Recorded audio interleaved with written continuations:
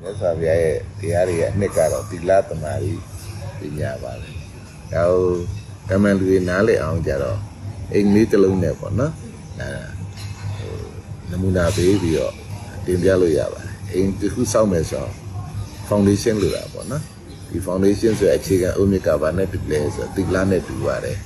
ဒီအခြေခံပေါ်မှာဘာလုပ်ရမလဲဆိုတော့တိုင်ထောင်ရမှာပေါ့ဒီမှာတိုင်ဆိုတော့မတ်မတ်တမာရီဆိုတာတက်မတ်ကျွန်တော်တို့ခိုင်ခန့်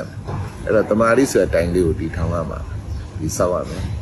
အဲ့တော့တမာရီဆိုတဲ့တိုင်ရှိသွားပြီဆိုတော့ပညာဆိုတဲ့အမိုးလေးမိုးလိုက်ရုံပါပဲဒါဆိုလို့ရှိရင်အိမ်လေးတစ်လုံးဖြစ်သွားပြီဆိုလို့ရှိရင်အိမ်ထဲမှာနေရတဲ့ဘဝတွေကမိုးတန်လေးတန်လေးတန်လေးဆိုရက်လောကဒန်တွေကိုခံနိုင်သွားမှာဖြစ်ပါတယ်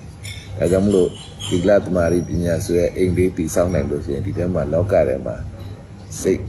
အေးချမ်းစွာလုံခြုံစွာနဲ့နေနိုင်မှာဖြစ်ပါတယ်